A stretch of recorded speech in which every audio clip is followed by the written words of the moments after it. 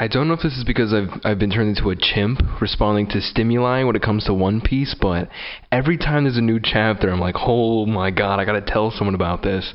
I don't know how people have One Piece channels, how people do One Piece content, because every time there's a new chapter, I just I don't have any coherent thoughts. You know, like back to the the chimp analogy, I'm I'm like a, an orangutan in a room just rattling the cage. So it's just like you know, big respect to, to people that can follow things that they enjoy and in the moment, day by day, each release have, you know, a, a sane head on their shoulders. Because, my God, I, I can't. I'm going to put up one panel in three seconds, click off, or, or go read it. Good night.